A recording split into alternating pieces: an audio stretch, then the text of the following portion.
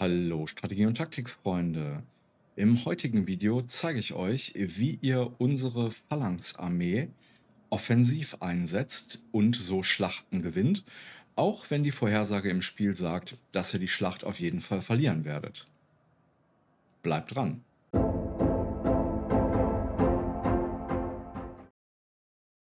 Hier seht ihr jetzt, dass der Computer uns sagt, wir gewinnen die Schlacht nicht. Wir sehen, der Gegner hat zwei Armeen. Insgesamt ist er uns also zahlenmäßig überlegen. Und wir müssen es nun schaffen, in einer offenen Feldschlacht mit einer Phalanx-Armee zwei feindliche Armeen zu besiegen,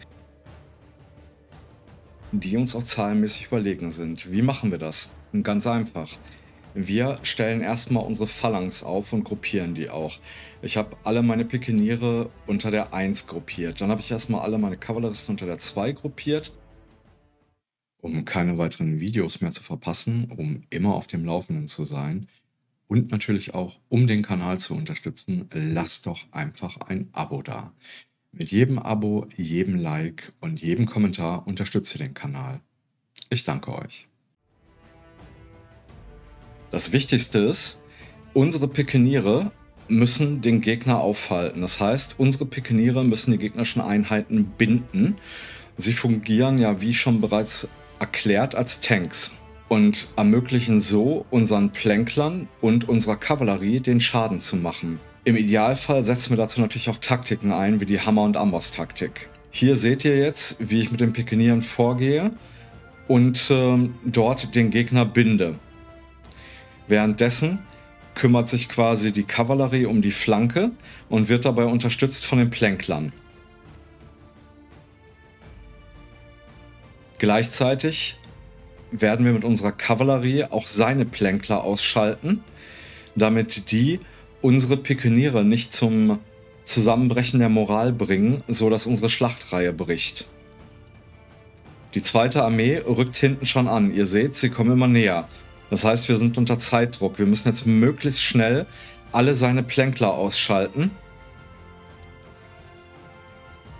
Gleichzeitig natürlich dafür sorgen, dass unsere Linie hält. Das sieht aber gut aus. Und an der rechten Flanke, seht ihr auch, hat der Gegner die Überzahl. Das heißt, da müssen wir besonders eingreifen. Wir unterstützen jetzt hier mit den Plänklern primär unsere Pikeniere und unsere Kavallerie kümmert sich um die Nahkämpfer und um die Sperrkämpfer, die noch an der rechten Flanke sind. Wir schwenken jetzt aber um auf die Plänkler. Hier muss man jetzt auch aufpassen, dass die Kavallerie nicht zwischen den beiden Armeen gefangen wird. Und man muss auch ein Auge auf die eigenen Plänkler haben, dass die nicht in Nahkämpfe verwickelt werden. Da nutzen wir die Hammer- und Amboss-Taktik, indem wir geballt mit unserer Kavallerie in seine Flanke fallen, die sich ja schon im Nahkampf mit unseren Pikenieren befindet. Das Gute ist, dem Ansturm hat der Gegner nicht viel entgegenzusetzen und bricht. Wir ziehen unsere Kavallerie raus, um sicherzustellen, dass wir nicht zwischen den beiden Armeen eingeklemmt werden. Gleichzeitig ziehen wir eine Pikeniereinheit zurück und schrägen die ab, um somit die Flanke zu schützen. Und unsere Plänkler kümmern sich folgerichtig um die feindlichen Flankeneinheiten. Durch unsere Kavallerie haben wir jetzt auch sehr viele Gegner auf die Seite gelockt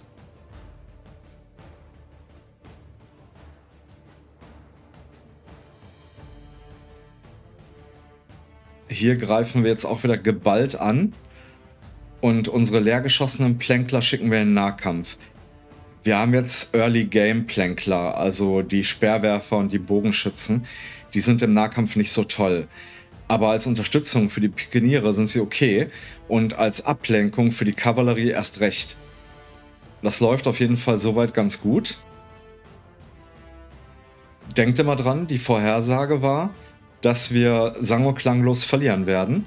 Und wenn ihr diese Schlacht auswürfeln lasst, wird das auch eine krachende Niederlage.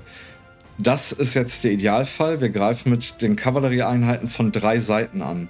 Das bedeutet, dass wir den Gegner massiv debuffen, denn äh, jeder Flankenangriff führt zu einem Debuff. Und wenn wir von drei Seiten an, aus angreifen, haben wir quasi einen dreifachen Debuff bei den Kampfwerten des Feindes. Die Moral bricht ein und wir machen mehr Schaden. Dadurch kriegen wir den Gegner extrem schnell ausgeschaltet. Jetzt ziehen wir wieder mit unserer Kavallerie vor, greifen erstmal noch die flüchtende Einheit an und geben der Druck, damit die sich nicht wieder sammeln kann und schwenken dann um. Und zwar müssen wir die Flanke unterstützen, wo die Plänkler auch im Nahkampf sind. Einige von euch werden sich jetzt fragen, warum ich die Pikeniere nicht anders aufstelle, um zum Beispiel im Laufe der Schlacht die Truppen gegen frischere Truppen auszutauschen. Gibt einen ganz einfachen Grund dafür. Und zwar, dann bräuchte ich mehr Pikeniere und hätte dafür dann weniger Plänkler oder weniger Kavallerie. Und dann funktioniert diese Taktik oder diese Armee aber nicht so. Ich setze jetzt einfach darauf, dass meine Pikeniere aufgrund von Erfahrung und aufgrund von Generalsfähigkeiten lange genug durchhalten, auch wenn sie erschöpft sind, dass ich sie nicht austauschen muss. Und wie ihr seht, funktioniert das ja auch ganz gut.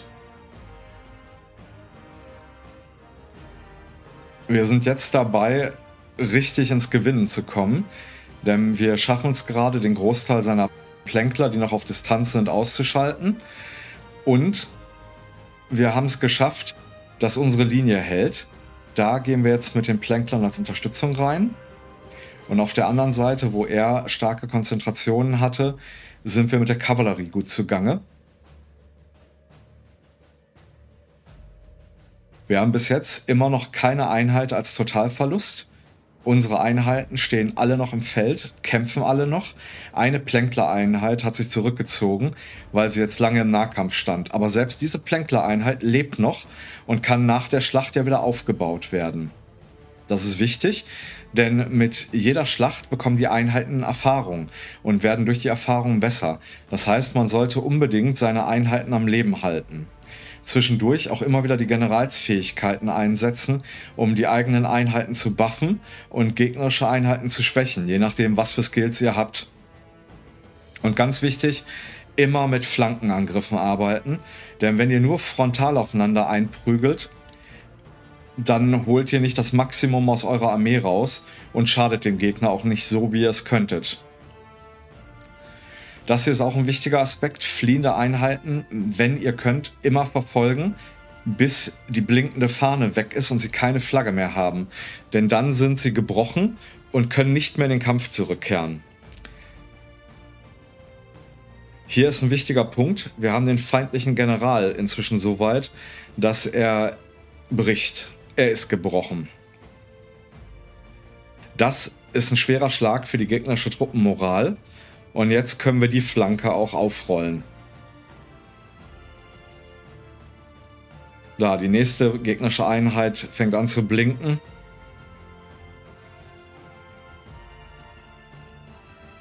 Unsere rechte Flanke hat gehalten.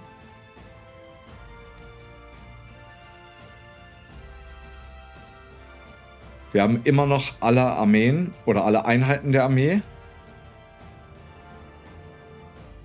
Und wir haben gewonnen.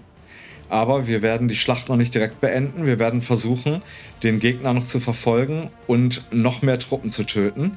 Denn je mehr ihr hier auslöscht, desto mehr Gefangene bekommt ihr, desto mehr Geld bekommt ihr nach der Schlacht und desto größer ist die Chance, dass die gegnerische Armee komplett ausgeschaltet ist und nicht mehr agieren kann. Lasst ihr hier zu viele Gegner entkommen, zieht sich die gegnerische Armee zurück und hat dann im schlimmsten Fall noch ein paar tausend Mann. Und das wollen wir natürlich verhindern. Also rein, Kasala. Alles, was geht, Druck machen und so viele wie möglich platt machen oder gefangen nehmen. Beides ist vollkommen okay. Denn jedes antike Imperium braucht natürlich auch Sklaven oder Gefangene, die man gegen Lösegeld abgeben kann. Und da seht ihr es, unsere komplette Armee hat überlebt. Wir haben natürlich Verluste, aber schaut euch mal die Kill-Ratio an. Also wir haben viele mehr Gegner getötet, als wir selber verloren haben. Ich hoffe, es hat euch gefallen und ihr konntet das eine oder andere mitnehmen. Gebt mir dazu gerne ein Feedback. Ich verlinke euch jetzt dort oben, also dort oben, noch eine Playlist zu weiteren Taktikvideos, die ihr euch unbedingt anschauen solltet, denn sie werden euch besser und erfolgreicher machen. Bis zum nächsten Mal.